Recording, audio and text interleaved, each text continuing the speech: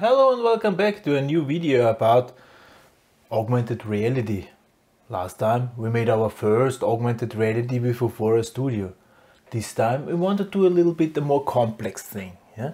This time we will want to do this thing. Yeah? This is something I have drawn yeah?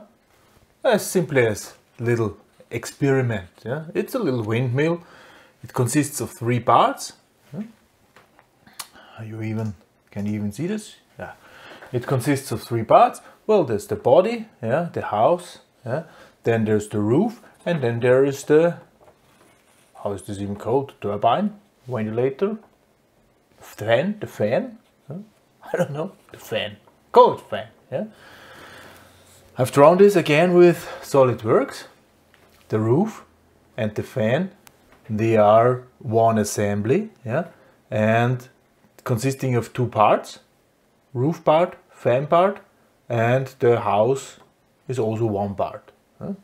So this I want to build and I wanted to build it that way that whenever this drawing is recognized somewhere, it shall place the windmill as augmented reality above this drawing. Okay, this would be the goal to use this as a so-called picture target.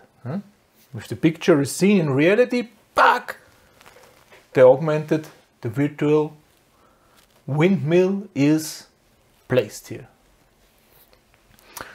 Good. This is our situation from last time. Yeah? We have made our project. Yeah? Of course, we could do another project as well. Yeah? This we could do. However, we will simply extend this project because everything is already configured, experience servers and so on. So we will open this project. Huh? Project open. This is the dice from last time. Yeah? Pretty sure you remember. Huh? This is the dice. And we want to add another part, another so-called view.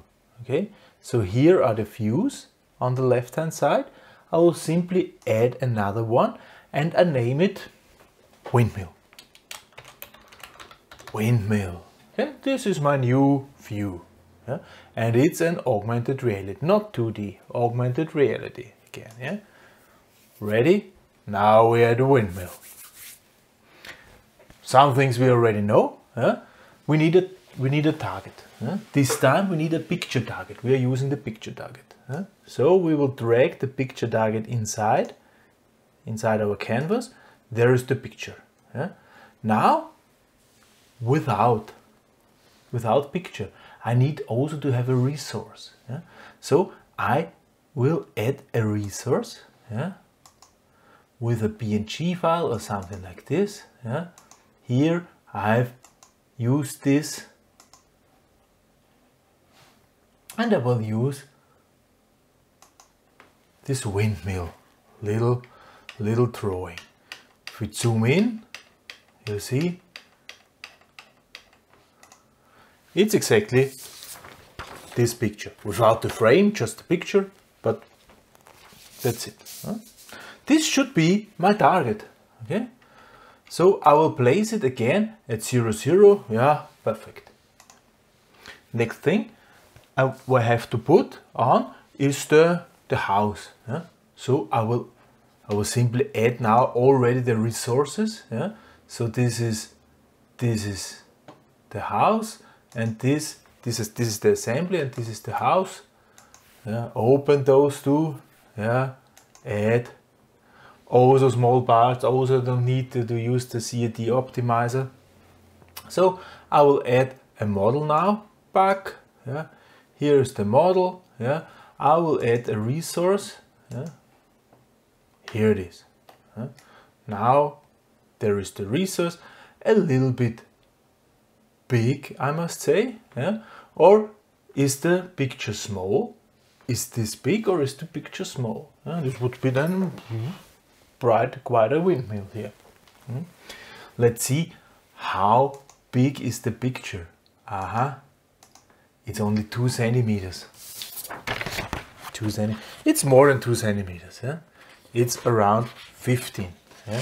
So we'll enter this 0 0.15. Yeah? Aha, this already looks a little bit different. Now it's 15.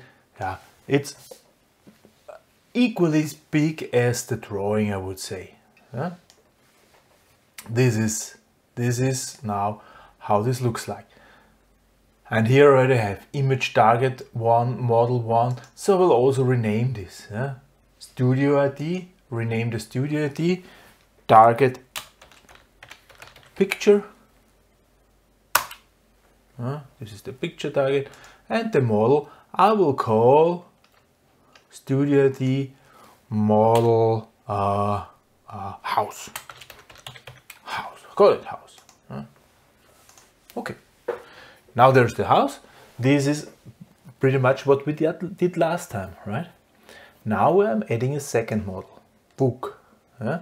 The second model, I will select the moving part. Hmm. I will also add here 0, 0, 0. Yeah? And now I will simply move it up. Ooh. here, of course, 0 dot 15. Let's see. Ah, it's too much. 12, 1, how does this look? 10 centimeters. Uh, I'm not fully satisfied. Is this at 0? No, it's also not at 0. I will place this at 0 and 0. Okay. And this one I will place at 9, 5. Mm maybe 9.2. Ah, this looks nice. There's a little bit a gap, yeah. So it looks like we could move it. Yeah? And if we change the Y moving, you see, this is what I want to do. Yeah? I want to to change 90 degree, yeah? 175 degree, now I can move my fan into the wind. Uh, this should be what needs to be animated. Uh. 180. Uh. This, this is how it should look like. Uh. Let's save this. Uh. Now we have, uh, maybe I should also rename this one. Yeah, That's the model moving. I will call it moving. So that's the roof and the fan. Here I can select preview. If I select preview, I can test how this would look like. Aha, it's still showing the dies. However, I can select the windmill. Now it's showing the windmill and now, yes, it's what I would expect back. Close the preview. Why it's showing the dies? Yeah, this is here. Yeah, because here it's initial view. Yeah, if I select here windmill, yeah, and start again the preview, then the thing I, I see is the windmill. Yeah? So that's the initial view when the project is called. Okay? Oh, switch, switch it to windmill yeah, but right now it's boring, right? It's boring. It looks better than, than just the dice, but yeah. Let's do a little bit more. Huh? I want that I can, on the fly, change the rotation of this part. Okay? By the way, at which point is this rotating? You see, here it's drawn here, but it's actually it's rotating here. This is where the origin in your model is placed. Okay? It always rotates around the origin of the assembly. So you have to take care if you want to use it in augmented reality that all the origins, the Ursprünge, yeah, 0, 0, 0 coordinates are at the correct place that the movement looks nice. So I want to move this yeah, during viewing and not just during compiling. Yeah. What I need for this is some sort of slider, some sort of input element where I can set this. Okay. So I can switch here to 2D. Here's the 3D view. Now I switch to 2D. And then we see uh, the surface, our touch surface of our device. And suddenly also those things did change. Now I can add some parts. And I can add a slider, for instance. We'll add a slider up here. This slider I will call slider angle. And now minimum value shall be 0 maximum value shall be 360 it's from 0 to 360 degree yeah the step width is one degree when so the slider now has 360 positions and I can select it one by one yeah and the initial value shall be 180 this is how it looks right now yeah? Okay so this is now the value. How do I get the value to the moving part? How do I combine those two? And this thing here is working with drag and drop. Okay, here these little arrows, I can take them, I can move them to the moving part here, and then I let it drop, pick, and then I can select which part I want to bind to this value. Huh? And I want to bind the Y turning, rotation, huh? binding. Now it's bound. Huh? Let's see how this looks like. Press again preview. Now I have here the slider and now I can change the slider. Aha! And the according value which are just bound to this is also changing from 360 to 0 degree. 180 was the initial value. nice, isn't it? It's nice. Yes, it's nice. So, uh, it's about time well, what I do not really like is this plus and minus here. This plus and minus. You can change this with this ion values. You can change this with this, with these ion values and there are a lot of ion values which can be selected.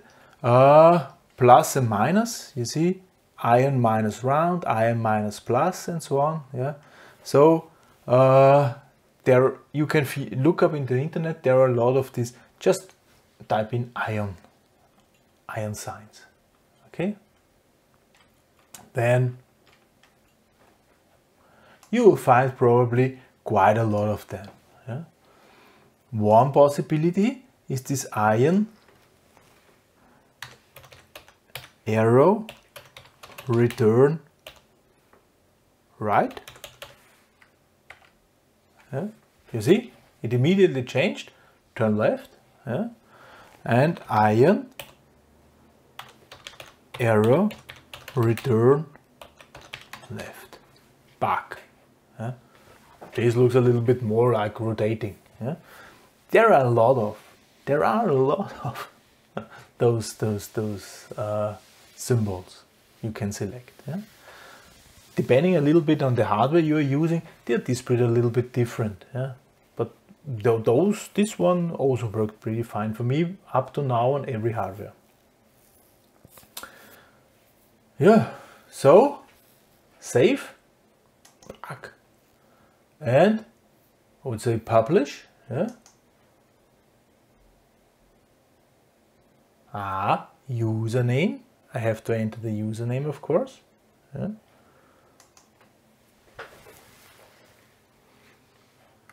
Of course I have to look it up. I don't know it top of my head. Dun, dun, dun,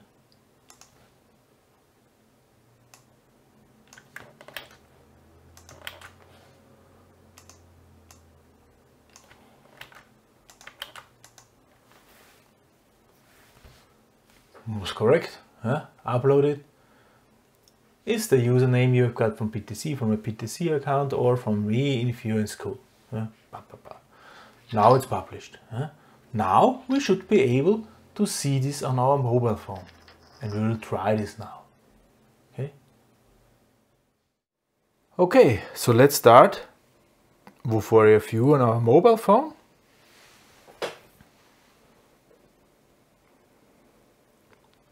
Okay, working. Here is the picture. Of course, I need to first scan the uh, ThingMark, which is associated with my project. Yes, this is the project I want to use. It's loading. Oh, and it immediately found it. Immediately found the, and I can watch it from every side. Okay, is the slider. Yes, it's working. So you see, it's a nice feature, isn't it? Huh? Nice. Nicey, nicey. Huh? Go a little bit closer. I always like this. I always like this because it's working pretty well. Huh? Now let's see if I move this. Have you seen this? It will track the drawing. It's a little bit buck, buck, buck. Yeah?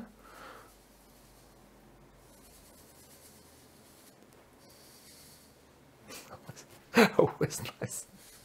I like it. I like this this this sort of technology. Yeah? Here we have the fan. Next thing, that's the next thing we are going to do. Animate the fan. Huh? But this then will be in next video. Huh? Yeah, no, no, no, no, no, no. Yes, yes, yes, yes, yes, yes. but this time, thank you very much for listening. Goodbye.